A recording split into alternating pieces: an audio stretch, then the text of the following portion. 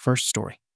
Hey guys, I'm the kids from one of those online happy living RV families, and let me tell you, I effing hate this and am cutting ties with my entitled parents, who use me as a constant and forced me into their lifestyle without any consent and made my life as miserable as possible for their own good.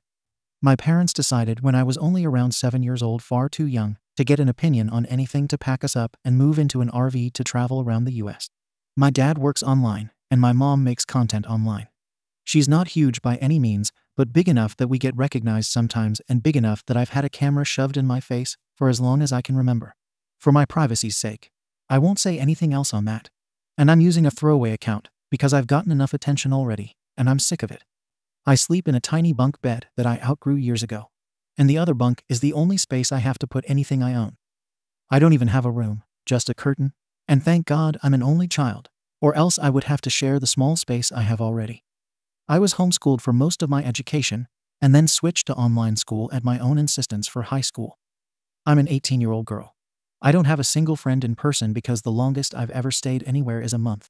I don't have a job and no way to get one because of not being stationary unless I find one online, which also means I have no way to move out and get away from them. I've had conversations with them about all of this countless times, and they are so delusional and genuinely believe that a nomadic existence is the best way to live. So why would I never need anything else? I hate them for treating me like some pet they can just drag along in their plans rather than their child. I hate traveling, I don't like heat, I hate dealing with bugs, and I'm so sick of hiking. I can't wait for the day that I finally figure out a way to get away from them with their morning hikes and cameras in my face. I've traveled around the US, yeah, but God forbid I want to have a normal life, go to college, or maybe even make some friends. That's asking too much. Some of OP's comments. Commenter. I can't even imagine how lonely that must be. Do you have any other family you could go stay with? OP. Not that I know of, unfortunately. Currently, my plan is to try to figure out some sort of income online and save up so I can get an apartment. And I'm talking with someone I've known online for a long time about maybe being roommates to help with costs for both of us. Commenter. Going to college is perhaps the easiest way out, but maybe not the cheapest. However, certainly a good step forward, for multiple reasons. OP. I'm definitely looking into it, but I'm worried about it because, with the way I was homeschooled, I was very behind academically and struggled a lot in high school. I was just happy I was able to do an actual online high school program rather than homeschool. Commenter. Ironically, if you were to start creating content about getting away from your hipster parents, you'd probably gain a lot of attention. OP, honestly, I've considered it just for the purpose of spreading awareness, but it didn't seem smart to me for a few reasons. First, it didn't seem like a long term solution. I don't think the content would be all that interesting once my story is told. There isn't any other real content there. There are only so many times you can talk about the same thing without it getting repetitive and boring. Plus, I would have to be in a stable position enough to feel comfortable talking about it and have an out just in case things went sideways. But more importantly, I've already had my life plastered onto the internet from such a young age that I don't think it's worth giving up the one aspect of my life that hasn't been published publicly. Top comment Gumbirox. 1800 Runaway provides a list of programs that will provide housing and supportive services. We help people like you every day. Update post. Nine days later. Hello, barely over a week ago, I made a post talking about my very negative experience living in an RV with my parents for around 10 years now. Despite it being such a short time since I've posted it, a lot has changed for me since then. I don't know how many people here would be interested in an update on my situation, but I know quite a few people were very concerned and would probably appreciate an update. So here it is. Also, fair warning. This is a fairly lengthy post. I have a tendency to ramble. So there is sort of a TLR at the end. I had a lot of people give me really helpful advice and resources, as well as even offers to try to help personally, some being questionable admittedly, but a majority being genuinely concerned and wanting to try to help. And I very much appreciate that. It was slightly overwhelming to be honest, and I ended up not responding to a lot of people. So you'll all have to forgive me for that. But even if I didn't respond much, I have been doing research on a lot of the information people gave me. Something that stood out to me was people asking if I had any family I could stay with, to which I had to respond. Not that I know of, because I don't have anyone on my dad's side of the family, and my mom strictly has no contact with her family. I did not know if they were alive, if they cut her off, if she cut them off, or even any details about them, and my mom had never wanted to talk about it. What information I did have was my mom's maiden name, which is pretty uncommon, and where she was born, which in terms of trying to find family can actually get you surprisingly far. I've come to realize. I've always had a slight hatred for the internet because I never had any choice in my life being public knowledge. And I know that once something is out there, it's out there. But for the first time, I'm actually really grateful for the internet.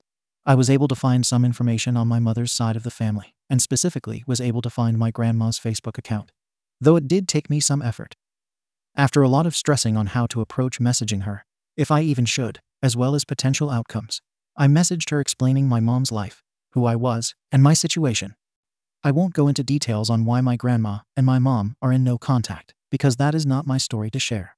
But my grandma was appalled that she has a granddaughter she didn't even know about, and even more so the way in which her daughter raised me. I found out I have an aunt and an uncle, both of whom my grandma told them about me and my situation. I've been in pretty much constant contact with all of them since just learning about each other. All of them want to help me get out of this living situation with my parents, and luckily, with me being 18 now, it's actually possible. Again, I don't feel entirely comfortable going into details, but I have arrangements to go stay with my aunt, who lives in a big city on the West Coast that had a lot of potential opportunities for me to start college or whatever I see fit, which I do plan on figuring out college. Happy to announce. My uncle has kids, but my aunt lives on her own and has a spare bedroom, which she has no problem letting me stay in for as long as necessary. I have a train ticket scheduled and purchased by my aunt and enough money to get to the station. I'm talking with my family. It still feels weird to type currently, and trying to plan out the details, like how or if I'm going to tell my parents. My mom doesn't know any information on where any of her family lives, so even if I were to tell my parents who I'm going to live with, they wouldn't know where I was specifically. Someone pointed out that if I did leave without telling them, I should leave a note or some form of proof that I left willingly. So if I do opt out of a conversation, I'm planning on either leaving a note or filming a video explaining my plans and why I'm leaving. Which would be kind of ironic, wouldn't it? Regarding my mom filming, I've been very quiet around my parents, just refusing to talk when the camera is on. But neither one of them has mentioned it yet so far, luckily. Also, speaking of my mom's content, I would like to very much emphasize something quickly. Almost everyone was genuinely trying to help, but I had a few people replying, trying to guess who I was. Luckily, the few I saw were basically torn to shreds and ended up deleting their comments. I also had a few people who messaged me privately, trying to make a guess at who I am, which at least that's not public, I guess. Although I can understand being curious, I posted anonymously with very little personal information for a reason. As I stated in my previous post, I have gotten enough attention, and I'm very sick of it. I would very much appreciate it if you guys could respect that. Even if you think you might know who I am, please, please don't make public guesses and understand that I don't want this to be even more public information tied to my name. Very long story short, I have set plans to leave as well as a safe place to go with my aunt once I do, and I very much appreciate people for being so willing to help. If you had told me not even two weeks ago that not only would I have a plan to move away from my parents, but contact with family members I didn't even know existed, I don't think I would have believed it. I'm currently not planning on making another post updating this, but wanted to let anyone who is concerned about me to not worry. Genuinely, thank you. Some of OP's comments. Commenter. Be careful. You don't really know your mom's family. I know it seems like an out. Just be careful. OP. I absolutely will be. Why my mom isn't in contact with them makes total sense. And none of it was their fault. Plus, they were able to send me evidence of that. But despite that, I definitely don't know them personally yet. My train out isn't scheduled immediately or anything, and I'm going to continue talking with them until then. But they do seem to be genuinely concerned and trustworthy. Plus, my aunt, who I'll be staying with, seems super nice, and we have already figured out that we have certain things in common. To the same commenter a bit later. OP, oh, I forgot to mention earlier. As I said in the post, I'm planning on going to college because that's a more attainable option for me now. And I'm hoping to figure out living in dorms so realistically, I won't be staying with my aunt for that long once I work that out. Commenter. You can't really know they're being truthful. You should ask your mother why she's stopped communicating with them without telling her you started and get her side of the story. OP, my mom, like 100%, refuses to talk about her family. That's the reason I didn't have any contact with them in the first place, and didn't even know about my aunt and uncle. But I'm confident they are being truthful about it because I was literally shown proof, and some of it was literally court ordered. Commenter. I do not recommend making a video. Your parents will use it for content. Write a note at most. Keep it simple though. OP. I realistically don't plan on filming a video. I think I was just feeling petty and upset thinking about it all, which just led to thinking about drastic ideas of what I should do for telling my parents. Video definitely isn't a good idea if I don't just tell them myself. To a downvoted commenter. OP question. Have you ever seen the Harry Potter movie scene where his room is under the stairs and thought to yourself, wow, he actually has enough room to sit up in bed and a door? I have multiple times, actually. I'm very willing to abandon them to not have to feel like that anymore. Commenter. Haha, great analogy. Listen, could you do me a favor, please? Whatever the name of the town you're going to, call the local police or sheriff station on a non emergency number. Ask for the community liaison officer, and then briefly introduce yourself. Explain that you are 18, leaving a family situation that is not healthy, and going to stay with a relative you have not previously met. Give the officer your contact info and tell him or her that you just want somebody that you trust to know where you are and to please give you a wellness check in a couple of weeks, and that you will stop in and let them know how you are a couple of weeks following that. Agree on two innocent code words for your wellness future conversations. One, which, when dropped into conversation, means something is wrong. Please get me out of here. And the other, which means everything is just fine at present. Does this sound comfortable for you? OP, that's a really good idea, actually. Thank you. Second story. My entitled boyfriend humiliated me in front of his whole family after I cooked for them, so I walked out. Now he blames me for embarrassing him and ruining the day. I 26F have been with my boyfriend 28M for about a year now. We get along well most of the time, but something happened last weekend that's really been bothering me. We went over to his parents' house for dinner, and ever since, things have been awkward. A bit of backstory I love cooking. I'm not a professional by any means, but it's something I'm passionate about and take pride in. My boyfriend knows this, but he's constantly comparing my cooking to his mom's, especially when it comes to her lasagna. I've heard about this lasagna more times than I can count. So before we leave for his parents' house, he makes this offhand comment. Maybe you'll finally learn how to make lasagna properly tonight. Yours could definitely use some improvement. I tried to laugh it off, but honestly, it hurt my feelings. Still, I brushed it aside because I didn't want to start anything before dinner. We get to his parents' place, and as expected, his mom's lasagna is the star of the meal. Everyone is raving about it. And of course, my boyfriend jumps in to say, Oh man, this is real lasagna. OP tried making it once. But let's just say there's a reason we're all here eating my mom's tonight. Everyone laughed. I felt embarrassed, but kept smiling to avoid making things awkward. Then he kept going, saying that I burned the sauce I didn't, and that maybe I should just leave lasagna to the experts. His family was cracking up, and I sat there, trying not to lose it. It wasn't just a joke to me, it felt like he was putting me down, especially in front of his family, who I'm still trying to make a good impression with. I couldn't handle it anymore, so I excused myself from the table and went to sit in the car.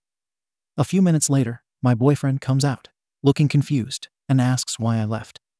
I told him how hurt I was by his comments, and instead of apologizing, he said I was overreacting and that it was just a joke.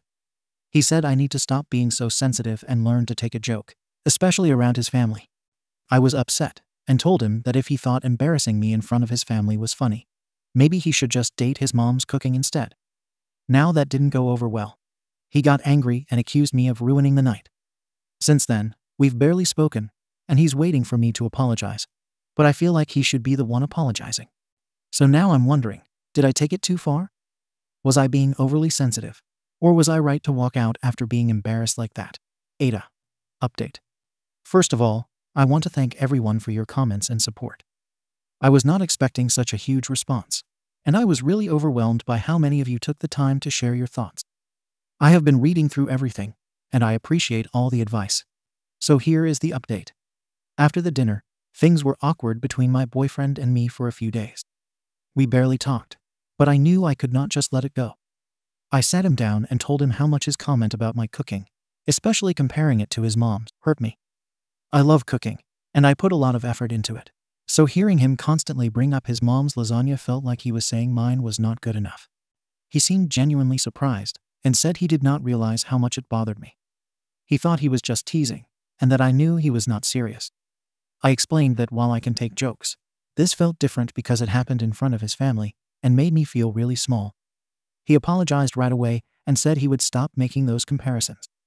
I could tell he was truly sorry, which made me feel better. As for his family, I did apologize for walking out, and they were actually really understanding. His mom even mentioned she would love to try my lasagna, sometime with no comparisons, which was really kind of her. Things have been better since then. My boyfriend has been more thoughtful about how he talks about my cooking, and I feel like we have both learned something from this. It is not perfect, but I feel hopeful about where things are going. Thank you all again for the support and advice. It gave me the confidence to speak up, and I am so grateful for that. Comments SMK122588. He seemed genuinely surprised and said he did not realize how much it bothered me. Even after you walked out of the dinner and he had to come find you upset in the car. After he accused you of ruining the night because of how noticeably upset you were to everyone. He didn't realize you were bothered. This doesn't make any sense. Please think about that. I'm all for the rare happy ending on Reddit, but what he's saying simply does not make sense. He's had a few days to compose the reaction that he knows you want to get yourself out of hot water, and you're just eating it up. Demiradamsel 122. I still don't like his initial reaction when you made your feelings known. And I don't accept his excuse that he thought you knew he wasn't being serious. The things he was saying lying about you burning the sauce, all of it were just objectively mean and no one's idea of a joke. I'm glad you feel better about it, but if it were me, I would take a wait and see approach. Third story. OP was sod, and everyone blames her because why did she, a girl, get drunk, be at that place and at that time? I know that by looking at the title, it sounds horrible, but hear me out. I'm 22, and my 23 year old boyfriend has been together for two years. He's my everything and I would never have thought that things would end like this. We were having some problems with communication, but nothing that didn't get resolved the same day. Recently, my little brother 17 wanted to go to a music festival, and since I have gone to plenty of them, I offered to take him to the festival.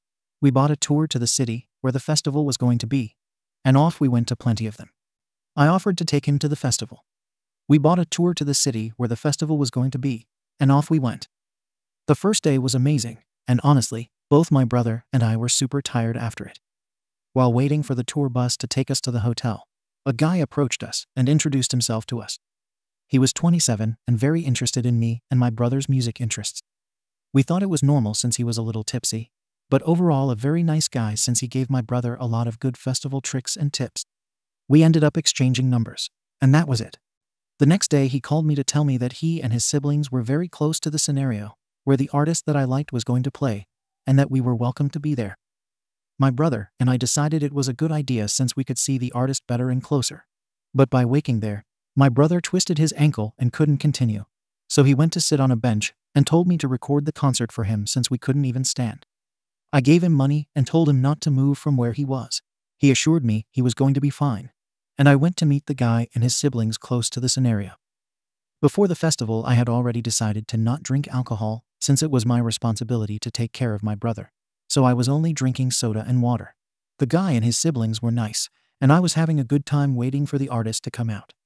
I ordered a soda to drink, and at one point I remember it tasting it weird. But I thought it was because it was hot, and I was very thirsty. Time went out, and I was texting my brother constantly. At one point I remember I started to slur my words and my head was pounding very hard. But I thought it was heat exhaustion. I started to lose control over my body, and the guy told me to recline on him. At one point, I passed out. When I woke up, I saw the guy on top of me kissing me and saying me. I wanted to scream to kick him to do something, but I couldn't move. When he finished, he left me there unconscious and terrified until I slowly recovered control. The first thing I did was look for my brother, and when I found him, he told me that if I was going to get drunk at least tell him so he can take care of me. I decided to not tell him anything to avoid making him feel bad. But in my head, the only thing I was thinking was that I cheated on my BF. It has been a few days since it, and I couldn't find the courage to tell anybody except for my therapist. She has been telling me that it wasn't cheating, I was R worded.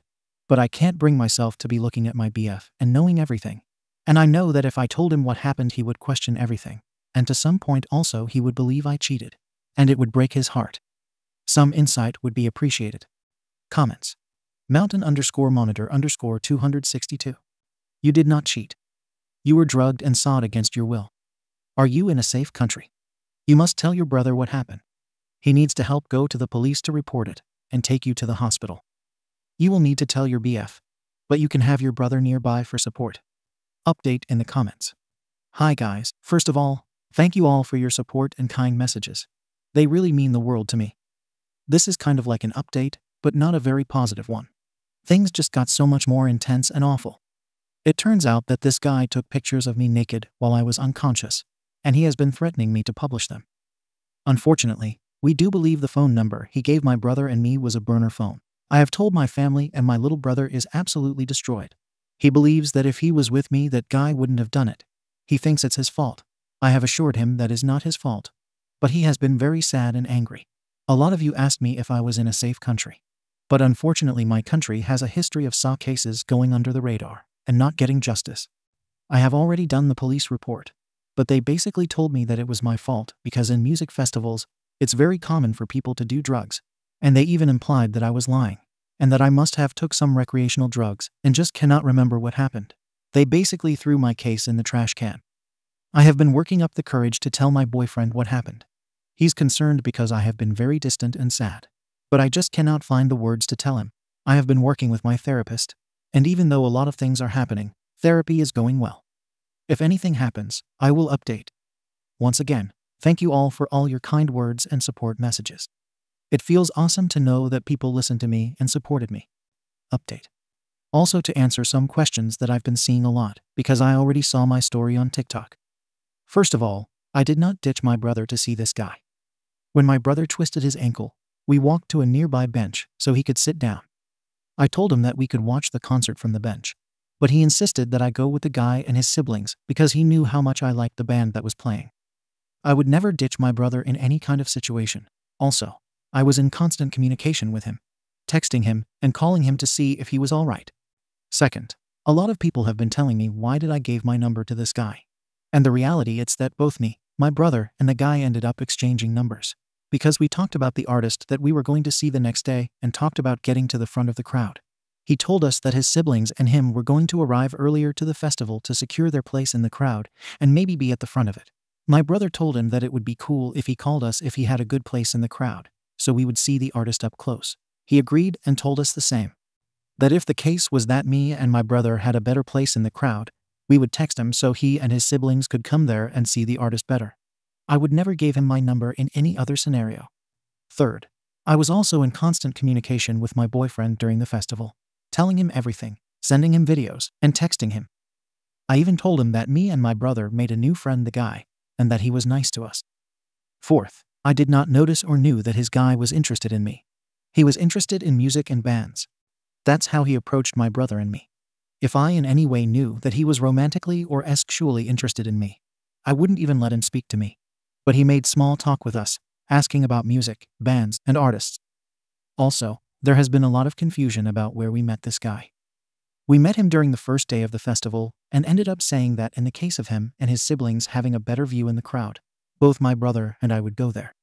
I didn't meet him before the festival and made plans with him. Also, my boyfriend was supposed to come with us. But his work didn't let him, so it was me and my brother. Unfortunately, I don't remember if he used a condom or not. I have already scheduled a STD panel in my health clinic, and I also scheduled a blood pregnancy test, so I can be more calm on that. Thank you for watching the video. If you are interested in listening to these kinds of stories, we've got more in store for you. Simply subscribe to our channel hit the like button, and share it with your friends.